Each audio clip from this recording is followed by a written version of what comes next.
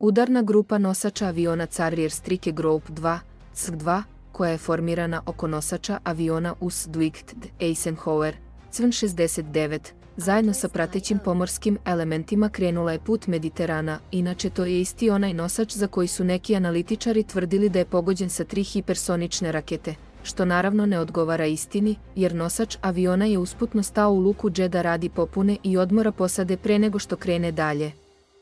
Glavni zadatak nosača aviona Dwight Eisenhower, CVN 69, prema izjavama jednog američkog zvaničnika, bit će pomoć Izraelu u odbrani svog severnog vazdušnog prostora od napada velikih razmera od raketa dugog dometa, raketa i dronova za koje se očekuje da će ih Hezbolah pokrenuti na početku izraelske kopnene i vazdušne ofanzive na južni Liban, u istočnom Mediteranu Carrier Strike Group 2 povezaće se sa ostalim brodovima američke i britanske mornarice.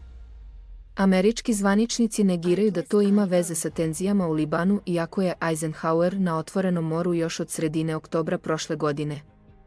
Način rasporeda ukazuje da je to preventivno.